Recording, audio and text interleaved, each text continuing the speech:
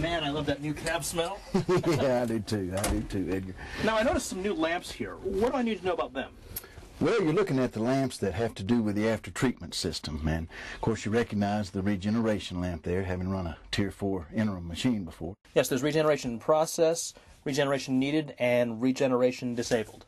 Exactly, and then of course there's the the the DEF uh, gauge, fuel gauge there. So, pretty proud of you there, Edgar. You, you're doing good, son. You learned more than you thought you did, didn't you? These other lamps will illuminate if there's uh, any emission systems fault or engine or after treatment fault, or if the DEF tank gets low on diesel exhaust fluid.